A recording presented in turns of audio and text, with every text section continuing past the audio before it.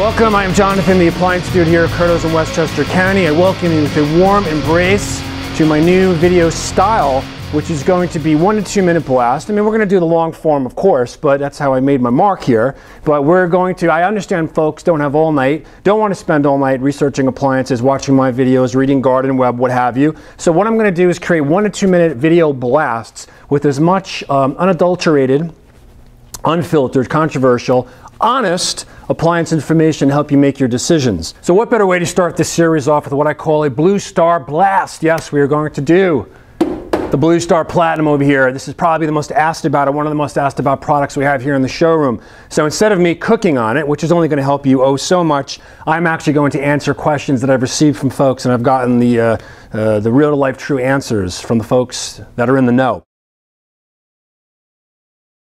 Question number one, appliance dude. Broiling on this range, open door, or closed door. Seems to be some controversy, some uh, questions about that because this one gentleman actually went to an event and he was told that it had you need open door broiling with this range. That's that's not true. I went directly to BlueStar and they told me absolutely not. Broiling, door closed. Okay. This is one of the reasons why. This range, they don't use plastic knobs on this. It's they're stainless knobs they're going to get hot, and the manifold is going to get hot even with the door closed. If you had open door broiling, I'm not going to tell you these are going to melt off. It's obviously not going to happen, but they're going to get excruciatingly hot. I don't think it's safe to do open door broiling. Open door broiling is a thing of the past. It's a vestige of the days of uh, grandma's range and what have you.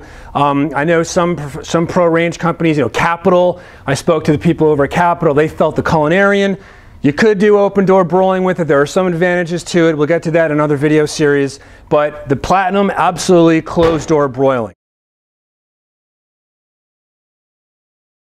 Question number two on the BlueStar Platinum range. Appliance dude, the power burner in the back. Is it actually encased in something or is it free and unencumbered to burn anything I have in my oven that might be placed towards the back? I'm afraid about my chocolate chip cookies. Here's the deal. The power burner, spelled P-O-W-R, is a beast. It is an animal, and all animals that are beasts and that ferocious and put up that type of heat must be caged, okay? There is, if I call it a cage, some folks might call it a, um, a baffle, but there is an, there's, a, there's a casing that is around that element in the back. No two ways about it. You're looking at the pictures of it right now. So folks, it's encased. Don't worry, the cookies aren't going to burn. Folks, that's it. One to two minutes on a particular topic. We're done tonight. I promise you, as I continue to get questions from viewers, from readers of the blog, from shoppers who come into the showroom, or more importantly, when I get feedback from my customers who always love to follow up with me on how the appliances are treating them and what their thoughts are on this and that we will continue to churn out these videos. Quick little blast. It's a jab, one to two minutes. Thank you so much. Thank you for your patronage. Thank you for watching. I will see you soon and come visit us here, Curto's, Westchester County. And yes, I do ship the BlueStar ranges across the country. Free national shipping. Take care. Bye.